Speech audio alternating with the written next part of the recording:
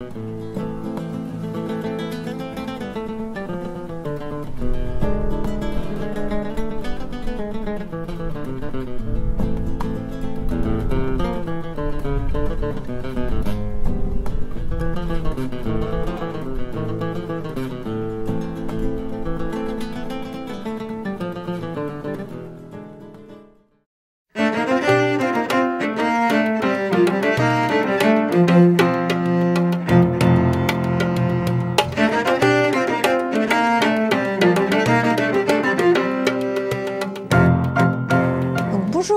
et à tous pour cette cinquième édition du cycle Algérie-France, La Voix des Objets. Donc alors une cinquième saison qui, comme vous le voyez, se déroule dans un contexte très particulier, à l'occasion de laquelle nous vous proposons de découvrir le centre de conservation et de ressources du MICEM, situé à la Belle de Mai.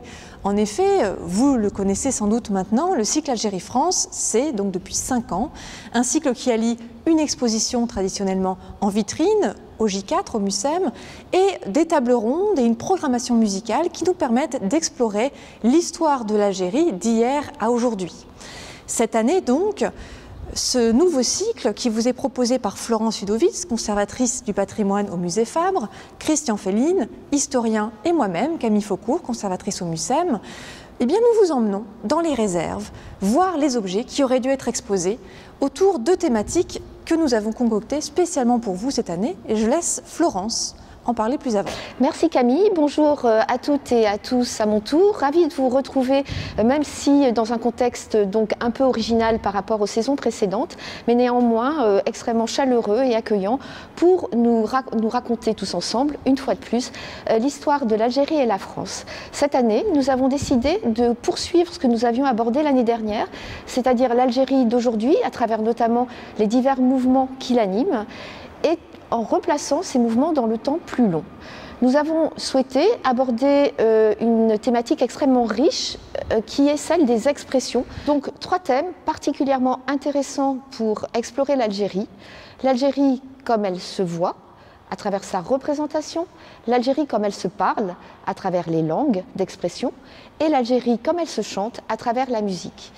Et maintenant, je me réjouis de vous retrouver très vite devant les objets pour aller plus avant dans cette exploration. A tout de suite.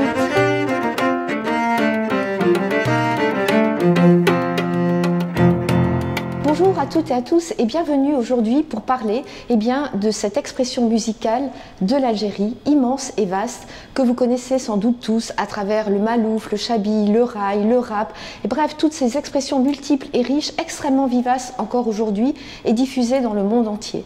Alors aujourd'hui, nous allons évidemment explorer l'histoire de l'Algérie et sa musique à travers la table ronde qui va succéder à la présentation des objets, mais tout de suite, nous allons voir ensemble de manière très petite au regard encore une fois de cette richesse, eh bien quelques-uns des aspects de cette musique, de sa diversité et de sa complexité. A tout de suite devant les objets. Alors nous commençons notre visite de manière chronologique avec cette mauresque chantant, buste exécuté par Charles Cordier.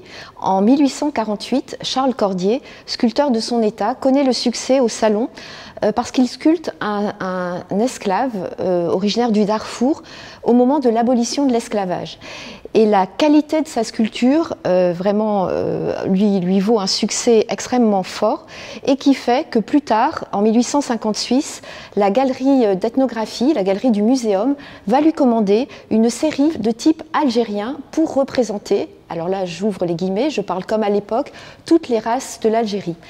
Et véritablement, il va être fasciné par cette commande et il va s'employer à sculpter tous les, non seulement ces douze types, mais tout ce qu'il considère représenter la richesse et la diversité de l'Algérie avant que euh, tous ces peuples se fondent, selon son expression, dans un même peuple, c'est-à-dire disparaissent, soient absorbés par la France. Alors ce qui est assez exceptionnel dans cette façon aussi de faire, c'est que comme vous pouvez le remarquer, on dirait que euh, c'est un véritable buste à taille humaine, et en outre, elle reprend euh, le style des empereurs romains, ce qui est une véritable nouveauté à l'époque. En outre, alors celle-ci est en marbre, mais euh, Charles Cordier a beaucoup utilisé également les matières de l'Algérie, comme l'onyx, divers marbres, qui donnaient une couleur à ces sculptures qui étaient aussi assez remarquables pour l'époque.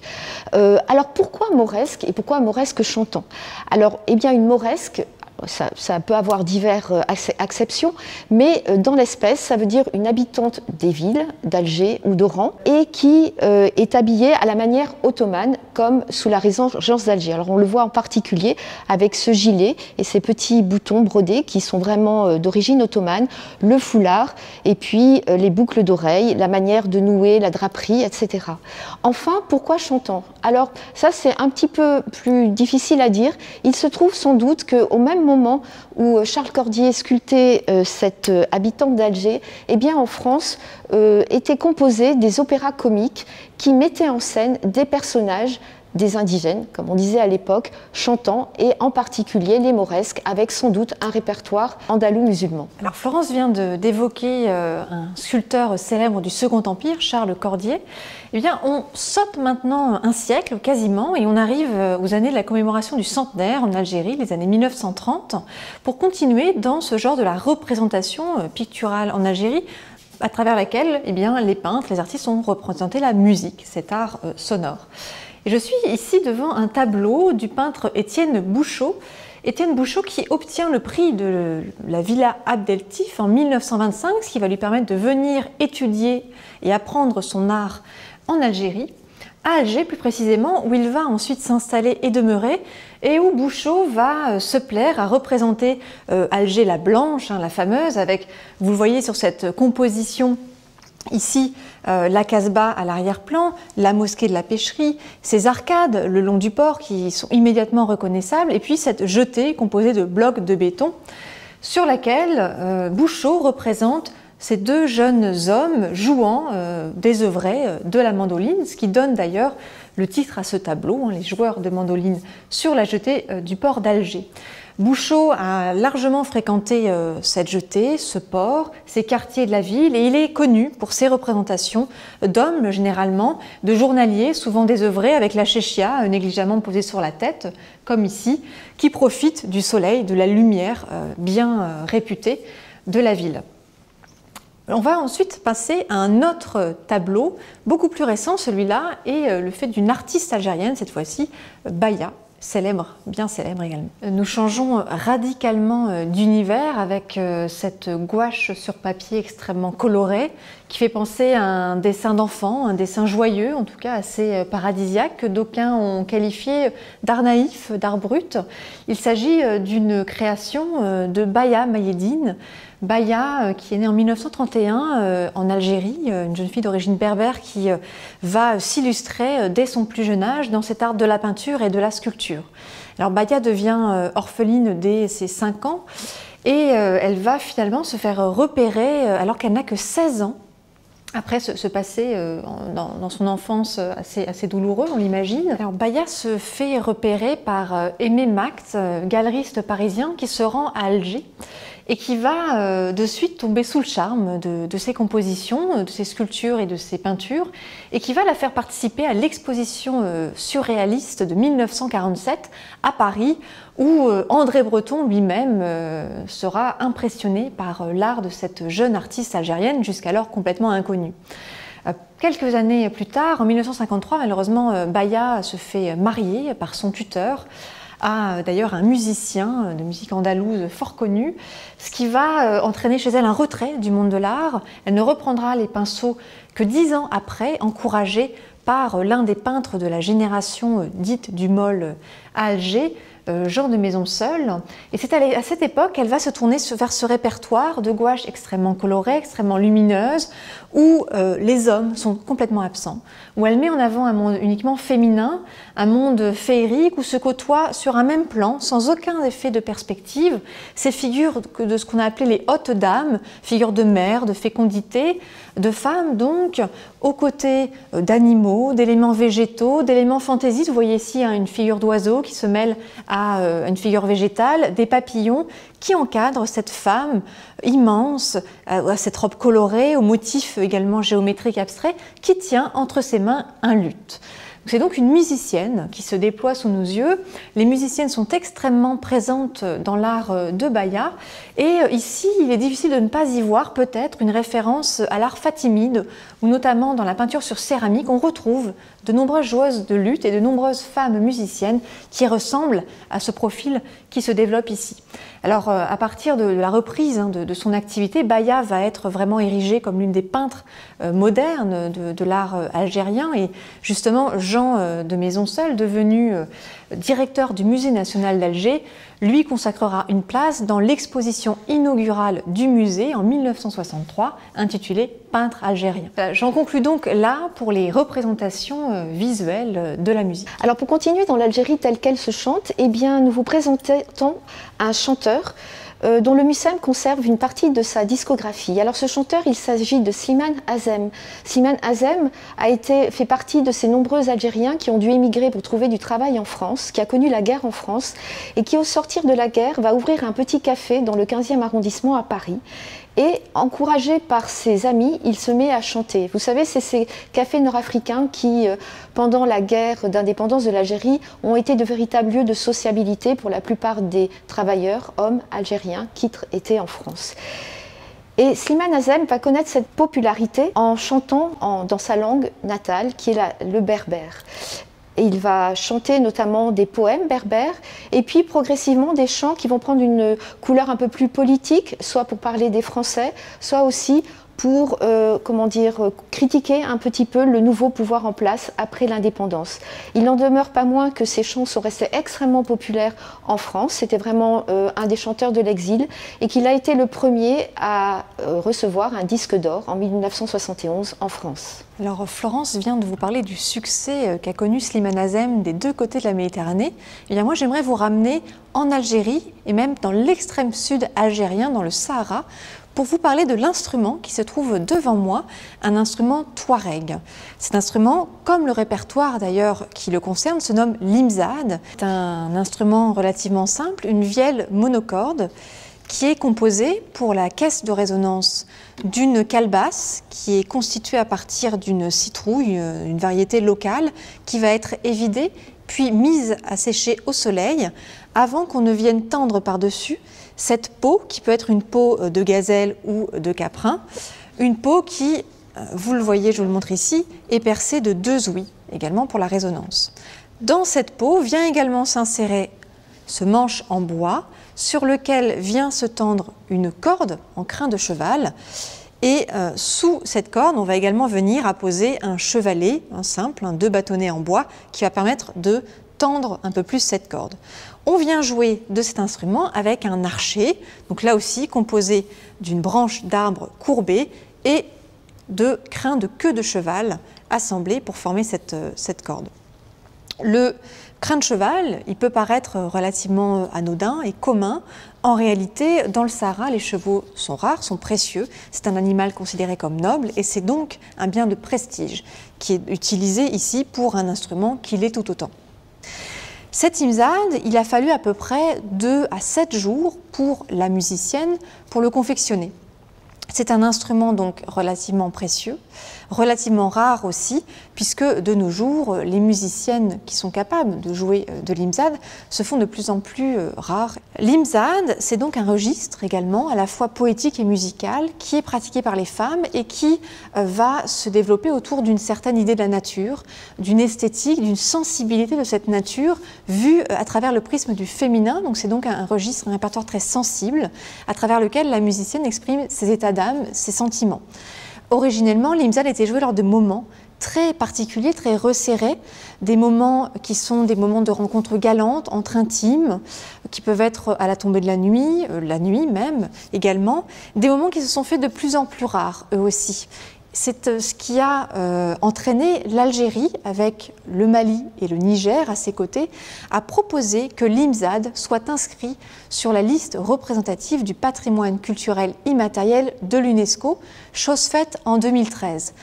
La disparition de cet instrument et de ce répertoire ont ainsi euh, été mis en avant et des associations se sont formées pour défendre cette musique.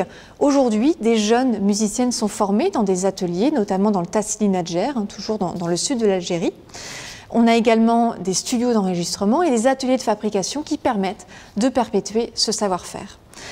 J'en conclus donc sur cet objet pour enchaîner maintenant sur la table ronde où les intervenants reviendront certainement sur ce répertoire aux côtés de cette extrême diversité des répertoires musicaux qui s'expriment encore et toujours aujourd'hui en Algérie. Merci pour votre écoute et à très vite pour la table ronde.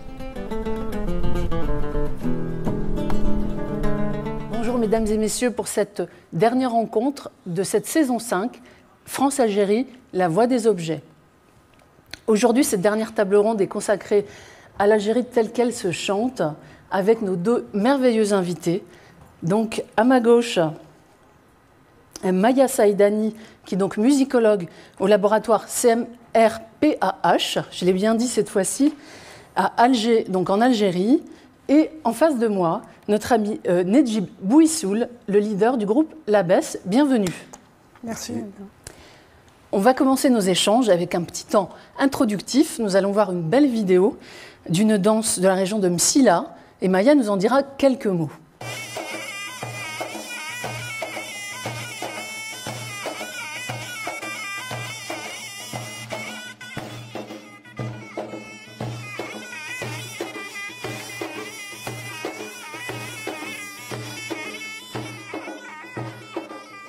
Alors Maya, moi j'ai l'impression de voir danser ma grand-mère.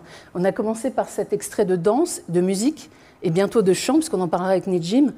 Euh, L'Algérie, ce n'est pas que le rail, ce n'est pas que le rap qui a beaucoup euh, marqué, notamment ici en France, avec le succès euh, du grand Soul King, qu'on connaît tous ici.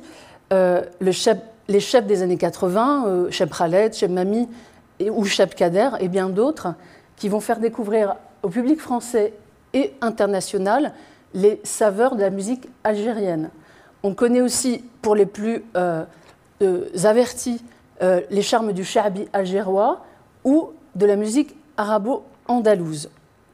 Ici, on a commencé à réfléchir à des enjeux de patrimoine en évoquant ces folklores, et on verra l'acception algérienne de ces folklores. Maya, est-ce que vous pouvez nous éclairer sur les grandes familles musicales et, euh, j'allais dire, euh, dans les répertoires musique et danse, les grandes familles musicales algériennes, dans ces grands traits, s'il vous plaît. Merci. Difficile de résumer. Oui. Alors, ce qu'on vient de voir, on va déjà commenter cette vidéo. Euh, cette vidéo fait partie d'un ensemble enregistré pendant Enfin, pendant l'année de Tlemcen. Année, capitale culturelle, c'est ça? Pour, ce, pour cette année, on a eu un budget d'enregistrement on a monté plusieurs euh, documentaires et on a utilisé les rushs pour, commenter, pour, illustrer un travail, on va dire, euh, d'un état des lieux, des musiques et des danses traditionnelles. Alors, la palette est immense. Euh, ce qu'on vient de voir, c'est. on, connaît, on parle du Neili, mais le Neili n'est qu'un représentant de plusieurs, plusieurs interprétations. Neili, c'est plutôt dans la région de Jelfa. Là, on est à Msila, c'est à quelques kilomètres. Euh, mais le principe reste le même. Amsila, de, de, mes enquêtes, on parle plutôt de nshai, c'est-à-dire le fait de bouger les doigts. Mais le principe est de, euh, quand c'est une danse, euh, comme on a vu là, mixte ou femme, les hommes aussi dansent le naili, et c'est encore d'autres gestuels, mais les femmes, pendant la danse, elles tissent, elles elles, reprennent, et c'est le cas de, des danses, pas seulement en Algérie, hein, partout, où les femmes, dans leur, euh, dans leur gestuelle, reprennent des fois des, des, euh, des, gestes du quotidien, tout simplement. Et le, pendant musical de Neili, euh, est-ce bien le ayay Et est-ce que vous pouvez nous en dire deux mots? Ayay, alors le ayay fait partie de ces répertoires qui, qui, qui ont été enregistrés pendant euh, pendant le, 1930, euh, donc euh, qu'on appelait Sahraoui, donc du le, Sahara. Le centenaire de, oui, de, centenaire de, la, conquête de l'Algérie. D'accord. Et le Ayay, de ce qu'on m'a dit, c'est un répertoire. les, musiciens, les maîtres que j'avais rencontrés, Amsila, Djelfa, etc., me disaient ça, ça, veut dire, ça signifie Aya, viens parce que euh, il y a, c'est dommage qu'on n'ait pas une illustration. L'interprète euh, euh, dans, son, ça se passe où? Avec la gaspa. Il y en a plusieurs pour chaque pour chaque tessiture et, il y a flûte, des flûtes. La gaspa donc vient de roseau, la flûte de roseau pardon. Et, et, il doit toujours avoir cette, cette, cette, question, cette technique responsoriale. Donc c'est comme si dans son interprétation, il appelle comme, comme un écho. Et c'est très intéressant parce qu'après aussi, dans, dans, le répertoire qui est prévu pour la Fantasia, parce que la Fantasia aussi va de pair avec tous ces répertoires, on va parler de, non plus de, de, de mais de Haïdi, c'est-à-dire euh, c'est-à-dire c'est toujours ce système de question-réponse, euh, question-réponse. Euh, on, peut parler aussi de khmasa, c'est-à-dire dans, les, villes du nord, on va parler plutôt de, des corottes qui, font écho au maître, qu'on va les appeler euh, qui veut dire métayer. C'est très intéressant parce qu'il y a le maître qui, lui, interprète la pièce et est un peu le maître du moment musical. Et il a ses chorotes, sa chorale, son ensemble vocal qui lui répond. Donc il y a toujours cette technique de. Parce que c'est très difficile quand euh, le micro n'existait pas, euh, il fallait tenir. Une voix, c'est, euh, elle a ses limites, le souffle, vous connaissez bien ça. Donc c'était aussi des techniques pour essayer de. pour permettre la respiration. Pour, pour nos spectateurs qui ne connaîtraient pas les musiques d'Algérie, euh, quelles seraient les grandes, voilà, les grandes écoles, les grandes, les grandes couleurs de la musique euh, algérienne? euh, En quelques mots. En quelques mots. Alors, il y a, y a les, les, connus, on ne va pas en parler, c'est-à-dire la musique andalouse, dont le mello fait partie. Et il y a, moi, c'est-à-dire dans, tout ce que j'ai, enfin, j'ai eu la chance de monter des colloques et en parallèle des, des, concerts, je vais toujours un peu, vous pardonnerez l'expression, euh, piocher dans ce qui n'est pas connu, dans les enfants cachés de, la musique. Et euh, bon, il y, a, dans tout, ce, dans tout ce, le nord de l'Algérie euh, ou le nord du Maghreb, toutes ces musiques qu'on dit andalouses, donc structure de la Nouba, qui va vraiment changer, aussi bien sur le plan des, des qui sont les, les modes, que sur le plan de la rythmique, que, etc. Il y a aussi tous ces répertoires citadins.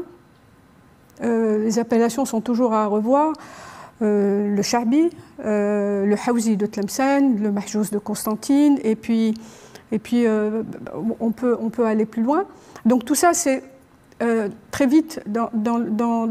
Après, il y a aussi les répertoires féminins, très, très, très intéressants, avec tout ce qu'ils contiennent de, rituels, etc si vous permettez, on peut, on peut faire ce, système un peu depuis le littoral. Après, on, passe à tout ce qui est euh, haute plaine. On disait haut plateau, maintenant on dit haute plaine jusqu'aux Aurès.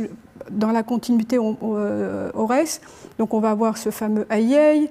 Euh, on va avoir tous les répertoires de, pour les Fantasias. et on va vers les Aurès, on va avoir le Sarawi, qui est, qui est un chant de très forte intensité, parce qu'on est dans une région aussi montagnard, et, une, palette de danse aussi, dont la, danse de Targ ou Targ les, les, les, danses qui imitent la jument, mais qui imitent aussi la voiture, Targ Tonobel, la voiture. On est moderne en Algérie. Oui. on évolue. Quand on, descend encore plus euh, vers le sud, alors c'est très intéressant parce que le sud-est est et euh, euh, il y a une variété incroyable, euh, que ce soit, alors longtemps on me disait non, dans le Mzab il n'y a pas de danse, il n'y a pas de chant. C'est vrai que la femme, on ne peut pas rencontrer les femmes, mais il y a une, palette de danse très intéressante. Biskra, qui est un carrefour incroyable où on va retrouver le Aïeï, le Naïli, on va retrouver plein de choses parce que Biskra a une histoire très intéressante. C'était un peu une ville de villégiature, c'est une ville qui est passionné, enfin, très, très, qui a une variété de, de euh, qui résulte des passages hein, de, de, dans la région. Et après, quand on va vers le sud-ouest, dans la région de la Saoura, c'est dommage qu'on ne puisse pas voir toutes ces, toutes ces danses. Et attention, parce que euh, là où il y a des régions où on peut appeler danse et d'autres régions où on, va plutôt parler de lab, le alawi que vous connaissez. Ouais, le alawi, qui est, euh, où les, les, les, il ne faut surtout pas euh, poser la question à un, interprète du Alaoui, lui dire qui fait c'est-à-dire comment tu danses là. On peut avoir, il faut lui dire, c'est-à-dire ils sont dans le lab, mais pas dans le jeu, mais le jeu, le jeu guerrier. Donc ils sont, euh, les paroles sont très dures, mout, c'est-à-dire tu meurs. Euh, et on va avoir toutes ces variantes, comme on a vu les variantes du Neili, toutes ces variantes du Halawi, festif, très, la tribu des Oulad Nahar, dans la, région de, Tlemcen, qui est un, un très vif, très, très guerrier.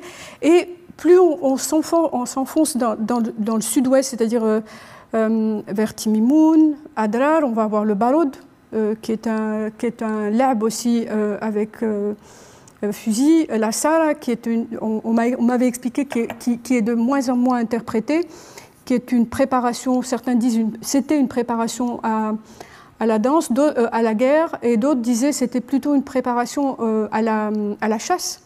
Donc on croise des bâtons. Ah ouais, oui. Dans, ce que vous, dans ce que vous dites, on entend différentes nuances, comme vous le disiez, mm. donc des rites guerriers, des rites de passage, des chants féminins le rapport entre la ville et la campagne, pour utiliser une féminologie française. Euh, par rapport à tout ça, Nejim, euh, vous qui êtes euh, donc leader de ce groupe un peu multiculturel, on va utiliser des références canadiennes puisque vous avez beaucoup vécu au Québec.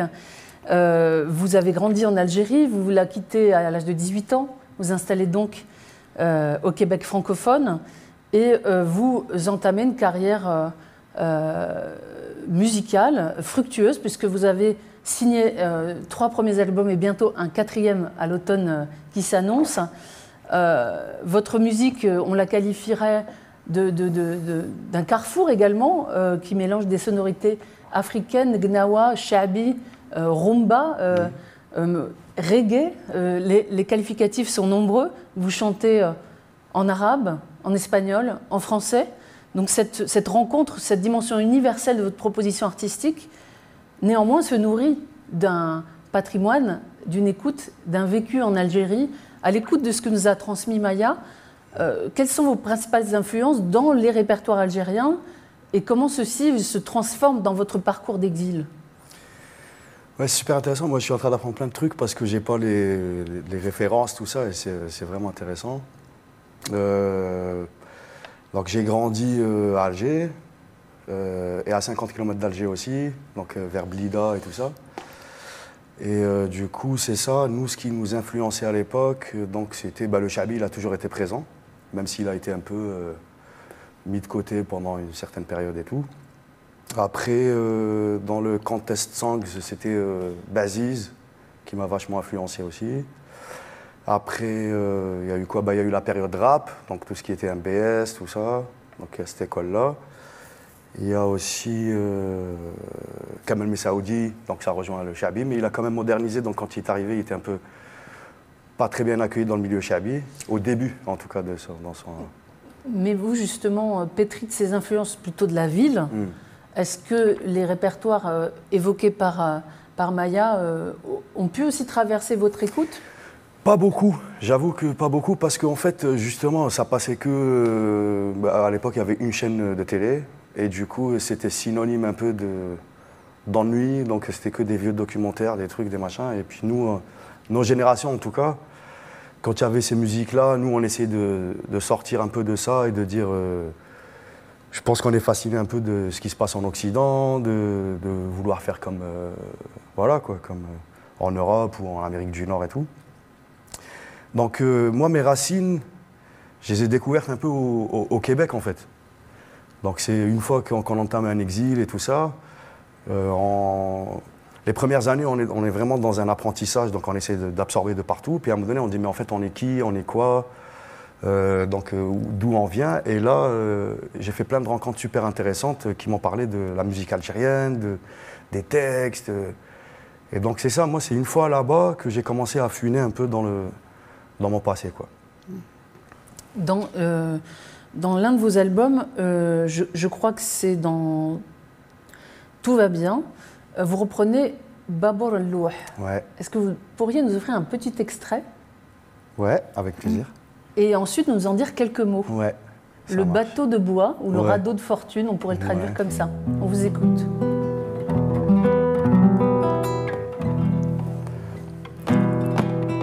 يا بابور لو درت لي جمرة فوق الروح يا بابور لو درت لي جمرة فوق الروح وقلبي مجروح ديت لي لغزالة البعيد وقلبي مجروح ديت لي لغزالة البعيد يا بابور النار حرمتني من الكحلة الشفار يا بابور النار حرمتني من الكحلة الشفار يا زين المسرى يا زين المسرى يا زين المسرى راهي ناري تشعل وتزيد يا زين المسرى راهي ناري تشعل وتزيد Bravo. Bravo. Bravo. Magnifique. Là, vous nous avez emmenés euh, à la fois en exil, puisqu'elle évoque l'exil, vous en donnerez peut-être quelques significations.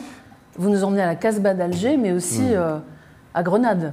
Donc, euh, Mm. Ouais, c'est cette, ça. cette circulation, cette identité narrative de Méditerranée qui nous raconte euh, cet exil, qu'est-ce que ça représente pour vous, cette chanson? Quelle est l'histoire de cette chanson? Alors pour moi, euh, en fait, c'est ça. euh, c'est qu'on a grandi dans un quartier populaire qui s'appelle Hussein-D. Et donc on était des potes, musiciens, tout ça. D'ailleurs, en fait, maintenant, ça s'appelle le groupe Day euh, qui, qui commence, bah, qui, commence qui, a une bonne place aussi dans la musique du monde et tout. Et en fait, c'était le grand frère de l'un des musiciens qui devait, bah, je vais faire une anecdote courte, mais pour voir un peu à l'époque comment ça se passait dans le milieu de production là-bas, c'est qu'il devait sortir une cassette, donc c'était les cassettes à l'époque.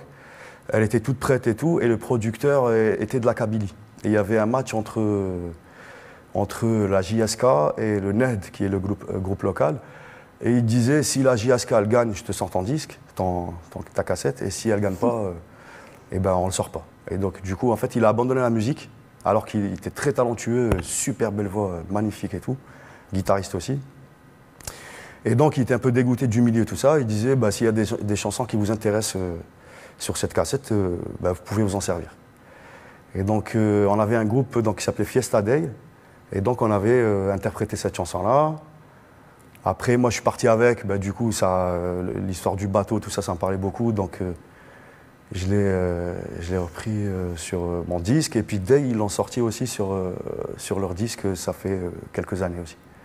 Cet exil que vous avez vécu intimement, il continue à, plus que jamais cette année en 2021, à concerner la jeunesse algérienne. On évoque plus de 600% d'augmentation des départs en Méditerranée vers l'Espagne.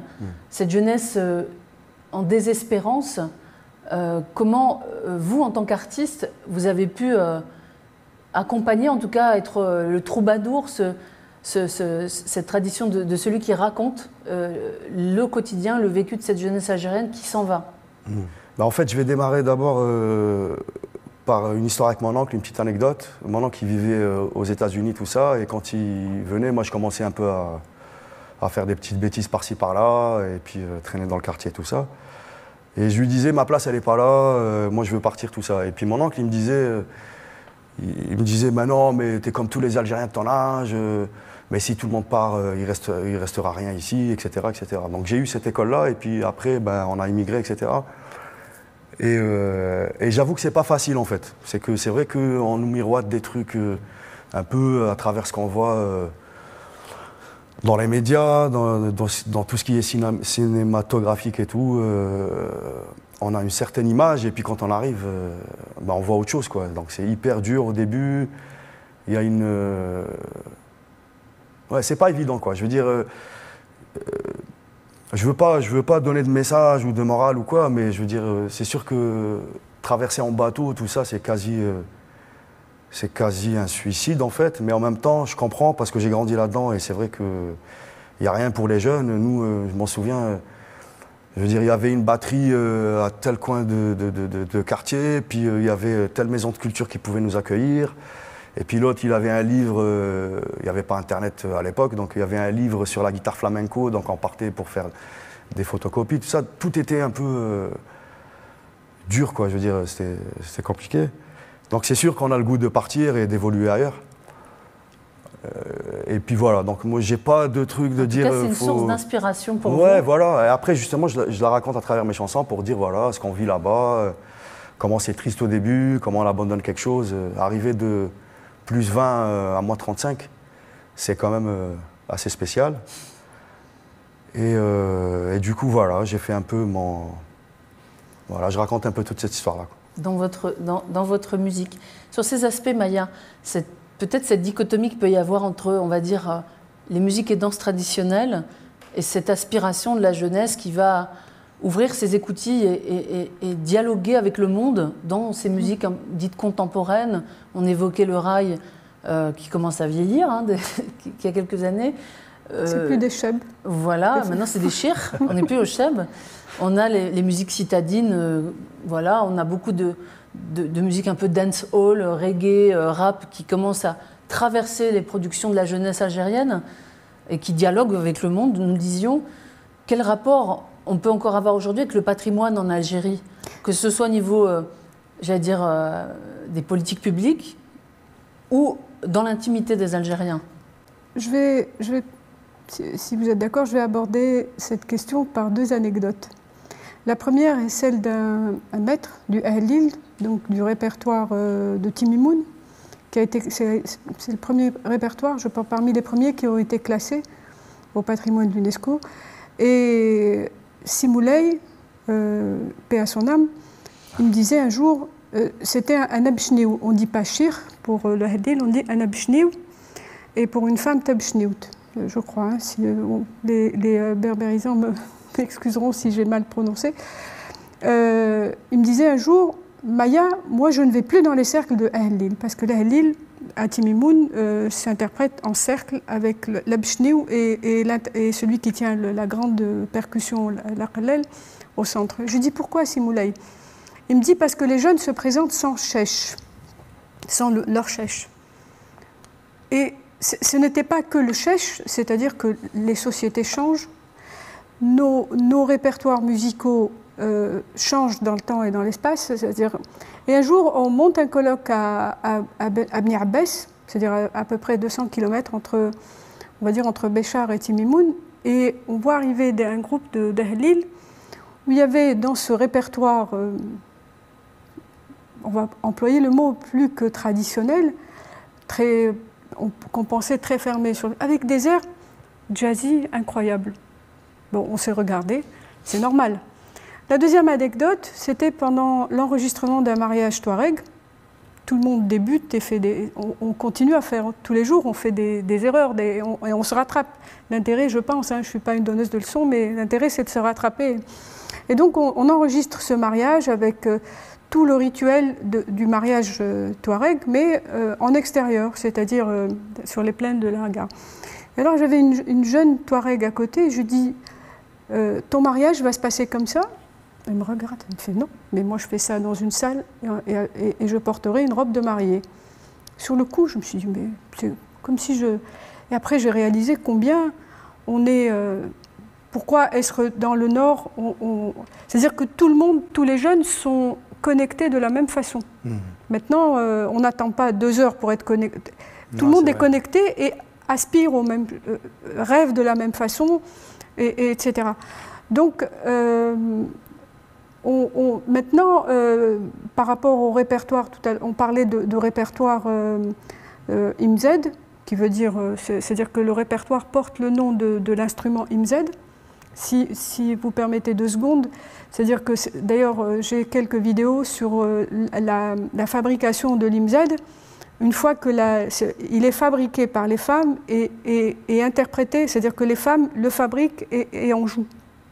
Donc il est posé comme un enfant dans leur... Euh, bon, c'est en train de changer aussi. Et pendant qu'elle fabrique son IMZ, elle, sur la, on, dit ça, la table d'harmonie, c'est ça? Ouais, table d'harmonie. Elle fait deux trous. Elle dit c'est pour qu'il regarde, et tol, c'est-à-dire qu'il regarde. Et tol, euh, c'est plus que regarder, c'est pour regarder comme quand on regarde Contempler, ouais, c'est ça. Et le chevalet, je mets ces deux patons, c'est-à-dire pour qu'il se lève. Donc ce répertoire IMZ, euh, maintenant, euh, les, jeunes euh, ont, maintenant les répertoires des jeunes ne s'appellent plus IMZ, mais ils s'appellent guitare. D'accord. Donc on voit bien la continuité, mais des fois le, le groupe va s'appeler IMZ pour jouer guitare. Donc je pense que c'est au début de mes recherches, j'étais là à vouloir, comment on dit, qu'il y ait des techniques pour protéger le patrimoine, etc. Mais le patrimoine est quelque chose de vivant. Il change tout le temps. Aux, chercheurs et aux États, de trouver les solutions. Mais on sent bien que les répertoires qu'on appelle traditionnels, même, même à l'époque d'Ahmed Sali, qui, est décédé, le grand maître de, la Sanaa d'Alger, il avait introduit des instruments comme la, le, le, mandol. Il avait, il, avait, chacun apporte des, des, choses nouvelles, mais une fois que ces personnes vieillissent, c'est quand quelqu'un apporte, on, a toujours tout de suite peur du changement. Mais je crois que maintenant, c'est une, c'est une réalité. la, la, preuve en est euh, mm. J'ai écouté ce matin de vous euh, euh, un répertoire gnaoui que vous avez réinterprété. Et, et, quand on écoute les associations, la naissance des associations ce que font les associations, c'est pas connu du tout parce qu'on les invite dans le cadre d'un festival et, et, les associations se réapproprient des répertoires anciens, mais d'une façon incroyable. juste, il n'y a pas suffisamment de chercheurs pour, pour pour écrire un peu les changements, comment toutes ces mutations, mais les mutations se font tous les jours. Donc euh, je ne sais pas si j'ai répondu à la question. Tout à fait. Justement sur cet aspect, merci Maya d'avoir euh, essayé de répondre en quelques minutes à un enjeu crucial, celui de la transmission du patrimoine, on y reviendra. Euh, je ne résiste pas à la question suivante. Vous qui êtes parti en exil, quand vous étiez encore un jeune homme en Algérie, Avez-vous regardé de l'autre côté de la Méditerranée vers des influences mondiales, certes hein, Je ne vous mhm. interrogerai pas sur euh, les Jackson 5 ou Bob Marley, mais plutôt sur les chanteurs algériens qui avaient choisi l'exil ou qui vivaient en exil, le Rorba, ceux qui ont été mhm. avant vous et qui ont chanté, qui ont chroniqué cette situation de l'exilé. Pour mhm. les plus anciens, euh, Dahman Harrachi et d'autres, est-ce que ça, c'est arrivé jusqu'au jeune homme que vous étiez en Algérie Oui, bien sûr. Est-ce que ça vous a influencé? Oui, bien sûr, mais complètement. Donc il y avait tous bah, les plus anciens, Siman Azem, euh, Tahmal Harash et tous les deux. Et puis euh, après, il y a les, les plus récents, donc euh, on a été vachement influencé aussi par les Gnawa Diffusion, l'ONB, tout ça, parce qu'ils sont, ils ont bah, moi, Mazir, euh, c'était un peu comme euh, le parrain. Pour moi, c'est un peu le parrain de, de cette école-là, d'écrire un peu en, en, algérois ou en algérien. Parce qu'on nous a, pendant des années, euh, fallait parler un arabe littéraire, etc., alors qu'on connaît l'histoire de l'Algérie. Et du coup, ça m'avait frappé. Je me souviens, je devais avoir peut-être 14 ans ou quoi, et je l'entendais chanter, je comprenais tout ce qu'il racontait en fait. Et je là, je dis, waouh, trop bien et tout. Et donc, euh, oui, bien sûr, on a, on a été influencé par les plus vieux, les plus récents, avant de partir, parce que c'est vrai qu'ils ont ramené. Euh, ben, ils ont modernisé un peu aussi, ils ont, ils ont cherché un peu dans d'autres styles. Euh, voilà, quoi, ouais. Dans, dans, votre deuxième album qui s'appelle Identité, et encore plus pour La Route, votre troisième album, vous, vous vous saisissez de problématiques et vous à l'instar d'un Gnawa diffusion, vous, vous dénoncez des hmm. situations de, de, relégation, de hogra, hmm. concept très algérien. Justement, vous chantez ces injustices, si on devait le traduire comme ça. Vous chroniquez, en tout cas, ces, injustices faites à la jeunesse algérienne et aux Algériens en général. Hmm. Est-ce que vous pouvez nous offrir un petit extrait de, l'une de ces chansons, de hogra par exemple? Ah ouais, ouais.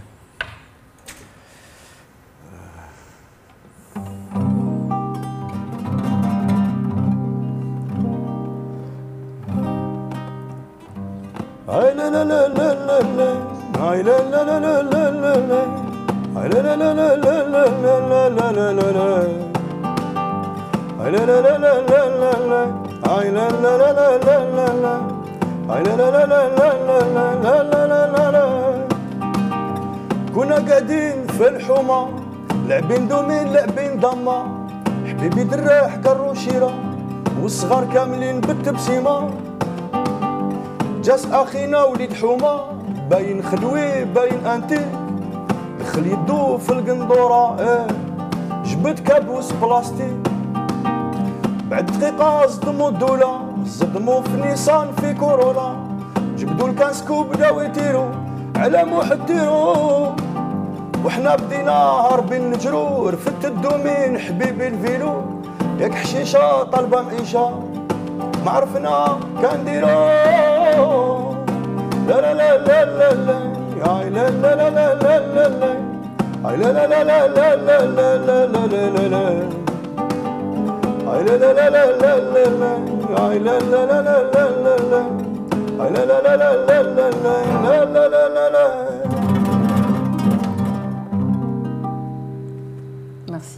On en profite, on vous a sous la main. hein. Bah ouais, ouais, On fait chanter. faire.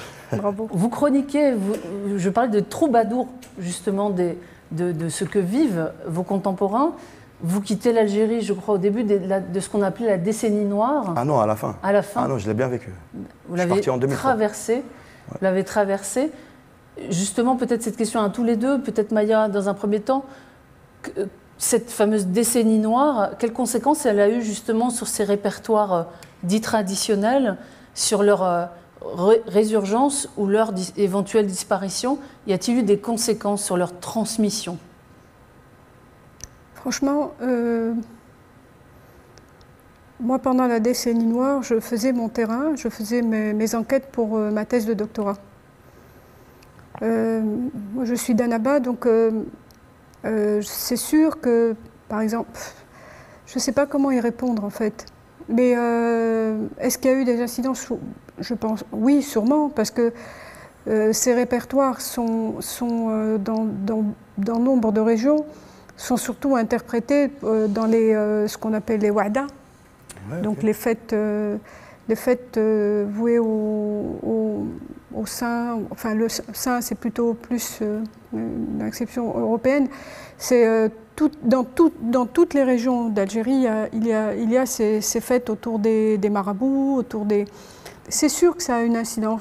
Beaucoup se posent la question. On a eu un enseignant, par exemple, euh, avant même la décennie, qui nous, euh, à chaque cours d'histoire, il nous disait Vous inquiétez pas, ce que vous faites n'est pas haram. C'est-à-dire, mais on était là, on était inscrits, on était heureux de- de- C'était une promotion très. C'était avant, avant la décennie. Mais ce qu'il faut, ce qu'il faut surtout, peut-être, aller vers des choses plus moins dures, hein, euh, c'est que après la décennie, il y a eu un, euh, une ont été organisés un nombre de, de- festivals incroyables pour beaucoup de répertoires, pour des danses, pour euh, et, j'avais aussi pour ce travail pour d'enregistrement ont été construites aussi énormément de maisons de jeunes, euh, 200 dinars la nuit, ça, vous donne une très petite somme, pour favoriser justement l'échange entre les- circulation. la circulation des jeunes euh, dans le pays. Ça a été une décennie terrible. Est-ce Oui. qu'on peut, on- sans faire de, de- comparaison n'est pas raison, mais est-ce qu'on peut pas une espèce de movida dans le milieu culturel après Oui. la décennie Oui. noire? Une espèce de bouffée de, de- de vie, de besoin de créer? Bah oui, les le- je pense que ce, ce programme était là aussi pour, euh, pour essayer, pour, euh, on n'oublie pas, hein, euh, on, on- on ne s'enfonce pas dans une forêt comme ça maintenant, alors qu'on le faisait très simplement avant. On allait, on s'installait sur une plage été comme hiver, on prenait. Bon, c'est sûr que ça, ça nous a changé pour longtemps. Mais il y a une jeunesse qui est, euh, qui est extraordinaire. Rien qu'à voir euh, quand on part euh, en vacances ou pour travailler en Tunisie ou au Maroc, on écoute énormément de musique algérienne, moderne, Mhm, c'est l'Hassimi. vrai. C'est vrai. Kamel Messaoud est parti trop jeune, il est mort trop jeune. C'est- ce qu'il a créé est, incroyable, et pas seulement, je ne cite que ce que vous faites. Et il y, a- une création. Ce qui est dommage, c'est que ce n'est pas répertorié, on n'en parle pas. Il y a, des musiciens plus que formidables, mais qui sont un peu éparpillés et on n'en parle pas. Le problème qu'on a, je pense, hein, euh, c'est un problème de communication. On ne communique pas assez sur ce qu'on fait. Je ne dis pas qu'on est les plus... Mais il y a une production énorme, intéressante.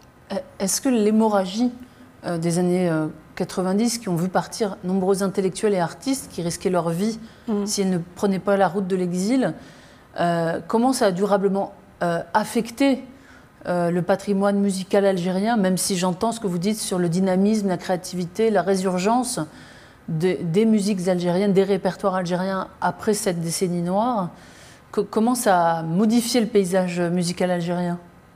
Parce que beaucoup ont, ont pris la France, comme par exemple comme Oui. base arrière. Oui, Je pense euh, aux artistes de l'usine, ici en France, les Chirsidi bémol, Youssef Boukella, hmm. euh, Samira Brahmiya qu'on a entendu euh, la semaine dernière ici au MUSEM. euh, Khalif Mizialawa, toute cette génération dorée de grands artistes qui vont partir la fin des années 90 euh, ou plus tard, mais qui vont partir, qui vont partir. Je ne connais pas la raison de votre départ, mais cette génération plus âgée que vous, que la vôtre, qui va partir et qui va faire de la musique algérienne, mais aille- ailleurs, dans l'ailleurs, Euh, là où leurs a- aïeux partaient pour travailler à l'usine, eux, ils ont euh, créé un studio qu'ils ont baptisé l'usine, Oui, oui. comme une usine de musique. Mm. Voilà. Mais les musiques ont toujours voyagé.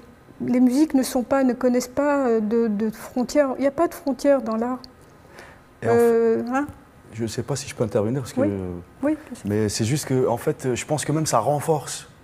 Parce qu'en temps de crise et tout ça, bah, les artistes, c'est là où ils s'expriment le plus. Et d'après, moi, je n'ai pas connu, mais d'après des témoignages avec euh, Petit Moh, avec euh, les grands frères, apparemment, c'est- moi, j'aurais rêvé, bah, rêvé, parce que c'était quand même une, c'était une période très dure, mais en tout cas, dans les cafés parisiens, tout ça, ils étaient là. Il y avait Matou Blounas, yarhamou, euh, Kamem Saoudi, Allah yarhamou, Idi, euh, Ils étaient tous euh, à la même table en train d'écrire des chansons, des Alger. trucs. Et ça, ça ben, je trouve que nos générations, on a un peu moins ça, justement. C'est qu'on a hérité d'un côté euh, occidental, euh, je ne sais pas comment l'appeler, le côté euh, Méditerranéen. méditerranéen, tout ça, mais on a hérité aussi d'un individu- une forme d'individualisme aussi. C'est que chacun va faire ses trucs un peu de, de son côté. Alors qu'à l'époque, bah, ils étaient tous à la même table. Toi, tu as écrit quoi? Toi, tu as écrit quoi? Et tout ça. Donc je pense que ça, ça a renforcé aussi le, le- le cheminement artistique ou bien la- le patrimoine algérien, je trouve. Ouais, mais, Je sais pas qu'est-ce que vous en pensez. Vous, vous- vous diriez aujourd'hui que vous manquez de collègues dans, dans votre Bah, exil ouais, moi je trouve que l'individualisme il est super présent. Après, euh, il y a de l'entraide, euh, en Algérie on le voit, les jeunes ils s'entraident, etc. Mais il y a quand même un truc euh, qu'on a perdu de l'époque. Euh, une certaine époque où tu n'avais pas ça, bah tiens, prends. Où, euh, J'ai l'impression que les jeunes, euh, justement, c'est à l'image aussi des réseaux sociaux et des trucs de- du matu vu, tout le temps qui transforment un peu euh, une carrière artistique. Ça peut, faut faire vraiment attention parce que ça peut la transformer un peu, par moment. Je dis ça modestement. Oui, mais on saura dans quelques années le- le- les, les- les- les effets positifs comme négatifs de- des réseaux sociaux. Ah bah ouais, ouais. Pour le moment, Vous, vous évoquez justement les réseaux sociaux. C'est un phénomène mondial, notamment dans les trajectoires des artistes du monde du spectacle vivant et en particulier de la musique. Aujourd'hui, on a plus intérêt à avoir des followers sur TikTok ou Instagram euh, pour pouvoir euh, faire écouter sa musique, vendre sa musique, euh, f- devenir une star ou en tout cas être reconnu comme tel. Euh, on a vu des trajectoires intéressantes d'artistes algériens qui vont, être- vont utiliser YouTube pour rencontrer leur public, notamment dans le rail. Euh, quels, seraient aujourd'hui les usages euh, sociaux qu'un artiste comme vous, euh, Nejim, pourrait avoir des réseaux sociaux dans votre trajectoire? Qu'est-ce que ça vous a apporté pour rencontrer votre public?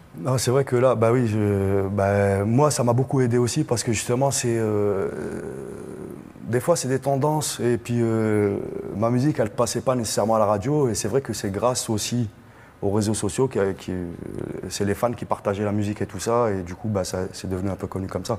Donc, ça a des béné- je veux dire, c'est quand même bénéfique aussi. Mais il faut faire attention de ne pas tomber dans le narcissisme. Parce que maintenant, euh, j'ai mangé un sandwich, j'ai mangé je sais pas quoi, euh, les gens ils commentent, euh, bah, j'ai acheté une nouvelle veste, un nouveau truc. euh, j'ai l'impression que. l'abus. Bah, voilà, après chacun a son truc à dire là-dessus, mais en tout cas, euh, moi ça m'inspire pas confiance. Quoi. De passer euh, toute la journée à commenter les faits et gestes et les trucs. euh, On a quand je même pense le droit pas que de, ça vous, va donner. de hein. vous suivre Comment sur vos réseaux sociaux. Oui, je sais, mais est-ce qu'à l'époque, euh, moi, je veux dire, euh, si je parle de quand même Saoudi ou bien là, je commence à peine à avoir des témoignages, par exemple, de, petit- de notre grand frère Petit Moir, donc qui en parle et tout ça. Mais Petit je veux Marc dire, qui collabore avec vous, qui est un grand artiste du Shabi Bah algérien. ouais, exactement. Et lui, il, a même vécu avec lui, euh, avec quand même Rahmo. Et donc, mais c'est intéressant, c'est la vieille école, donc on va chercher l'information aussi. Donc le Donc, patrimoine. le patrimoine, exactement. On va le chercher euh, dans une démarche euh, assez, euh, assez, bah, je veux dire, je trouve ça, je trouve ça beau de partir voir quelqu'un et de demander alors comment il était tel cher, comment. Et puis euh, il y a des petites anecdotes qui vont sortir, tout ça. Or qu'aujourd'hui on expose tout et Est-ce que vous pourriez nous offrir, je vous prends un peu à l'improviste, ouais.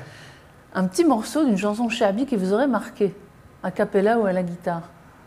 Ah bah quand même Saoudé, moi il a vraiment bercé. euh, Vous offrez je crois peut-être à, nous nos- a- à nos auditeurs et nos spectateurs un petit extrait de Ouais. Kamel Après- on, on leur donne envie et il faut leur faire découvrir. Ouais, ça marche. Alors, il y a une chanson hyper triste. Ouais, je-. On y va. On y va. Shema. Bah, Il y a Shema, et non, j'allais faire Yadnia. Et du coup, elle a été écrite par Yassine Ouabed et interprétée par Kamem Saoudi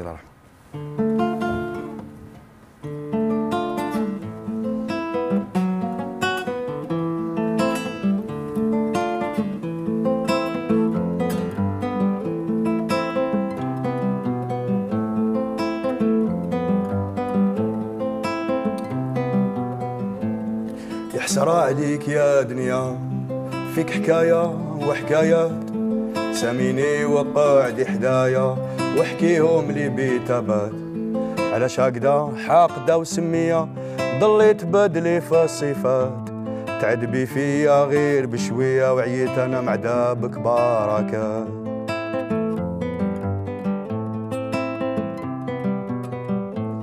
تلعبي بيا ولا معايا جاوبيني على شاد سكات. قالوا لي عليك مسرحية وأنا المسرح سكن لي في الدار. والتذكيرة خلصتها غالية ديت معايا شي وردات. دخلت القاعة صفقوا عليا طلع الستار الضوء فات لقيت روحي في تمثيلية والديكور نخوف من الموات. قمعتيني ودارتي عليا عندي جدي باص أحمد. يا حسرة عليك يا دنيا. فيك حكاية وحكايات ساميني وقعد حدايا واحكيهم لي بيتابات على شاقدة حقدة وسمية ضليت بدلي في الصفات. لا بيبي شعل من السلطان كان في دنيا جيوش الأمروطيعات مالو رزق صور وسرايا والعس عليه بالألوفات. غفل غفلان قلبت الحية حليلتو ما صاب وين يبات وكلتي فلان عسل فاكية وفلان شمختي له الفتات فلان قلعتي له الدرية وحياته من الفرح خوات وفلان تلاق مرتو المسكية زعاف كي جابت له البنات. يا حسرة عليك يا دنيا فيك حكاية وحكايات ساميني وقعد حدايا واحكيهم لي بيتابات على شاقدة حاقدة وسمية ضليت بدلي في الصفات تعبي فيها غير بشوية وعييت أنا مع دابك باركة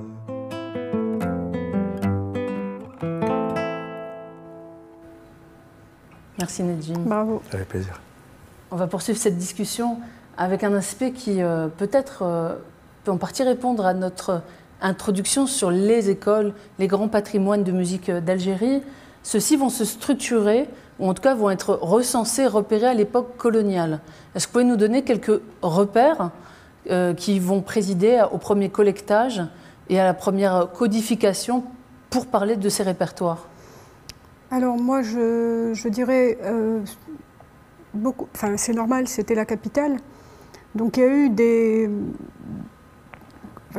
Là, en ce moment, je travaille sur, pas des recensements, mais essayer de comprendre comment ont commencé les écrits et quel impact ont ces écrits sur les, travaux récents ou plus ou moins récents.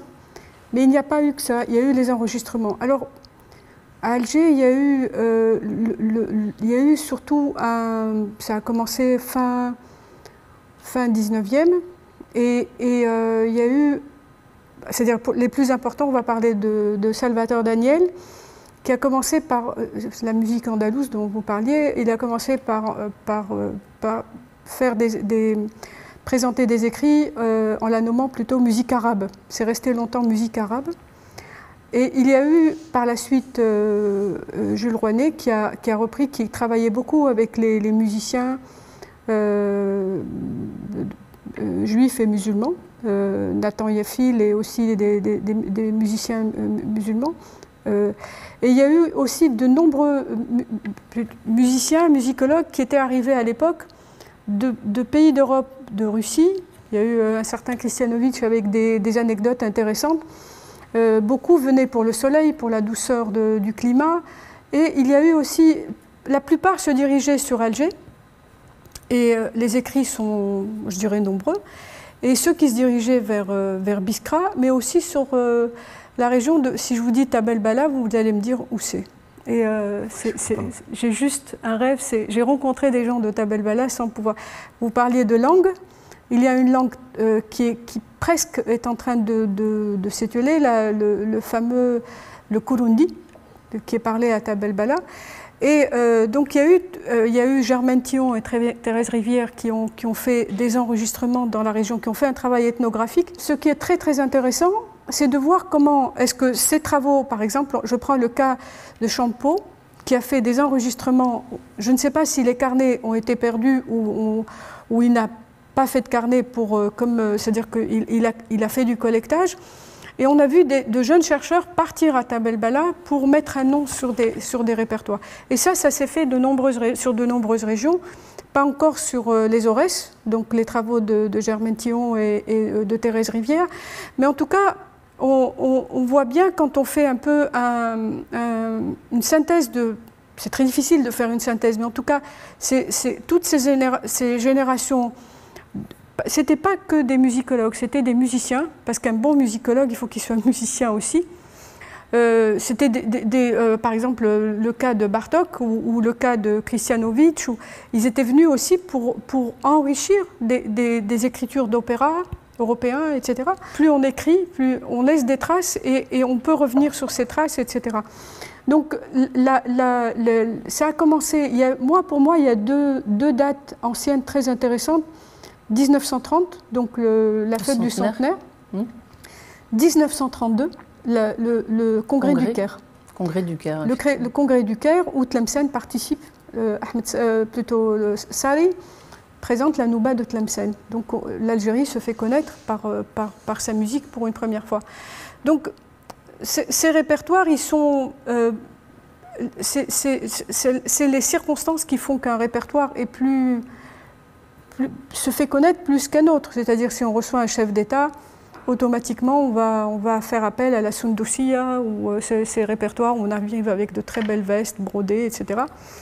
Euh, donc ça, la recherche se fait, euh, c'est-à-dire que quand, je, fais un petit, quand on fait un peu la, le parcours de tout, de tout ce qui s'est écrit, de tout ce qui s'est enregistré, parce qu'au CNRPH, on s'est retrouvé avec 300 heures de son euh, entre 1974 et une dizaine d'années, entre 74 et une dizaine d'années après, donc 80, à peu près, oui. Euh, on, se, on, se, retrouve avec des, enregistrements aussi au CNRPH sans, sans, comment on dit, sans documents. Il euh, n'y a pas eu de, de, On a perdu les carnets aussi. Mais des fois, on perd les carnets, des fois les carnets, on préfère dire qu'on a perdu nos carnets et ne pas dire que les carnets n'ont pas existé, parce que c'est ne pas rendre hommage à la personne qui a fait ce, très gros travail. Et là, il y a une thèse qui se fait sur, euh, c'est-à-dire à nouveau un départ sur... donc c'est il faut toujours, il y a toujours un travail, un commencement et, des générations qui vont essayer de, de, de, travailler sur ces enregistrements. Et à l'époque, quand on avait fait ce colloque à, à, je souhaitais que le colloque se fasse plutôt à, à Timimoun pour constater un peu l'état, enfin l'état non, disons euh, euh, un peu comment l'île avait euh, évolué, comment, parce que avant on avait cette mauvaise idée de, dire ah ça se détériore, le patrimoine est en train de disparaître. Non, il est juste en train d'évoluer comme une personne, mmh. comme euh, il, grandit, il devient adolescent, il, et on peut rien faire contre ça. C'est euh, juste, c'est-à-dire que le, chercheur, le collecteur, n'est pas là pour, euh, pour donner des leçons, il est juste là pour, pour constater et rendre compte de quelque chose, d'un vécu musical. Voilà. Et pour rendre compte de ce vécu musical, effectivement, on a les artistes.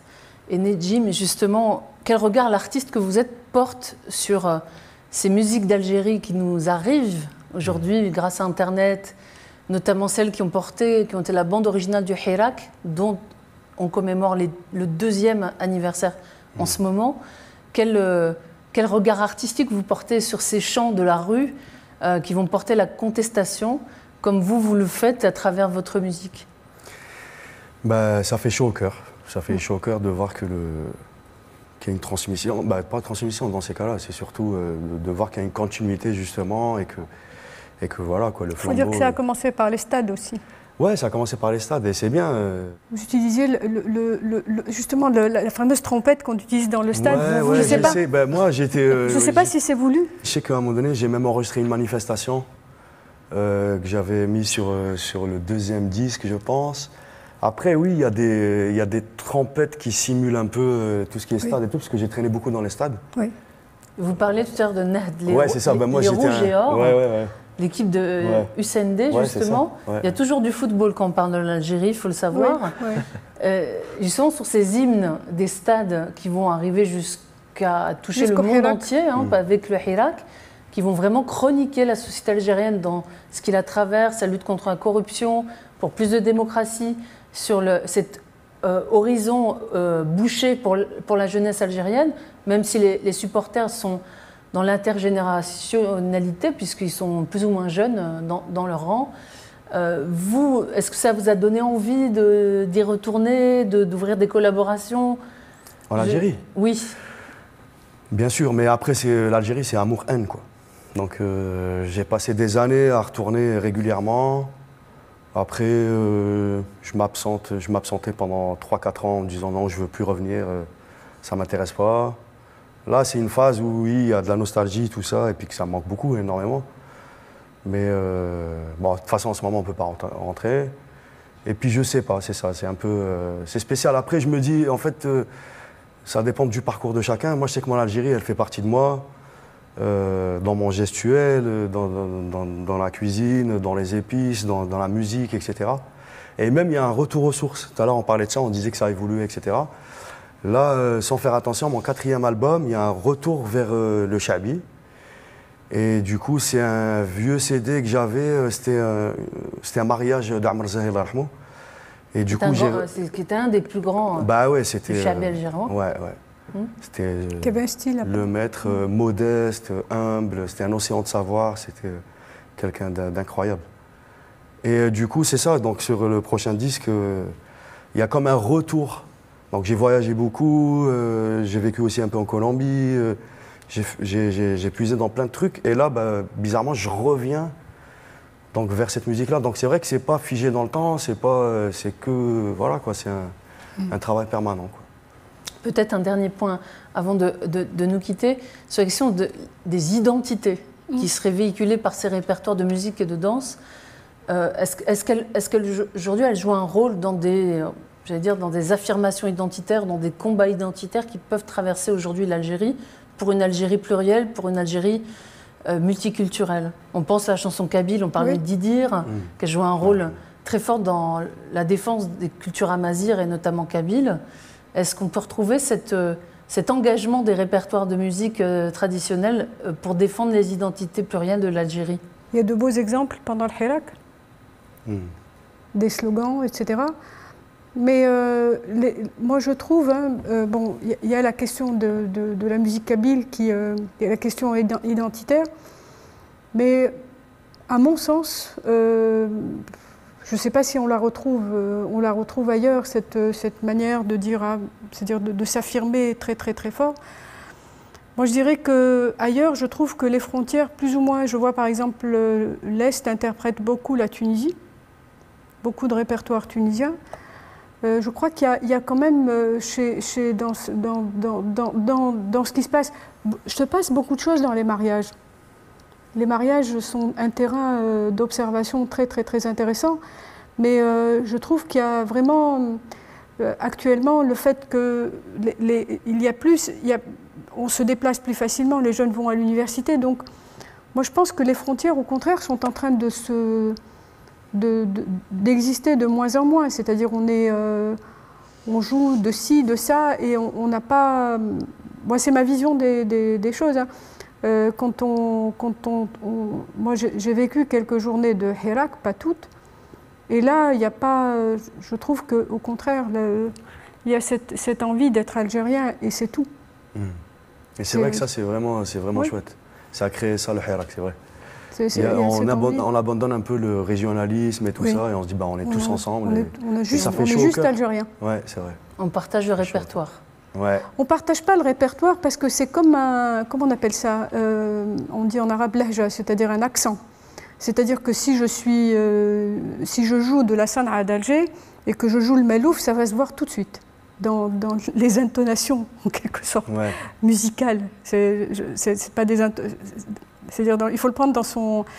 Mais euh, moi, je vois par exemple, euh, on écoute quelqu'un de Timmy Moon, plus ou moins. C'est très intéressant parce que les frontières sont quand même là. On arrive dans une région, on sait que c'est la fin de quelque chose, le début d'autre chose. Mais par, justement parler des réseaux sociaux, de ces jeunes qui voyagent beaucoup, etc., on sent vraiment que tout le monde, on peut jouer. J'ai vu dernièrement euh, une vidéo de, quelqu'un de Tiny Moon qui jouait du Constantinois.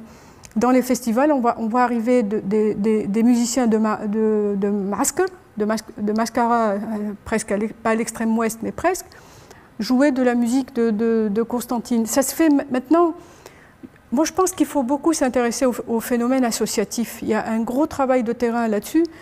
Mais le terrain associatif a, fait en tout cas ce- mélange de genres, de répertoires.